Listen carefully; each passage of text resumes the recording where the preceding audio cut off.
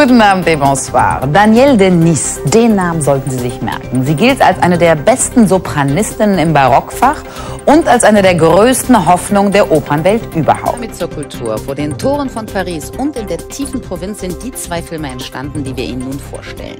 Die Dokumentarfilmer Claire Simon und Raymond Depardieu. Stille, bewegende Bilder. In Frankreich und europaweit wurde heute um Punkt 12 mit einer Schweigeminute den Opfern des Terrors in Paris gedacht 129 Menschen kamen bei den Attacken der islamistischen Terroristen ums Leben. Mehr als 350 wurden verletzt. Viele von ihnen schweben noch in Lebensgefahr. Aus Paris zugeschaltet ist jetzt der Nahostexperte Antoine Basbusse. Guten Abend. Sie haben die Rede von François Hollande in Versailles mitverfolgt.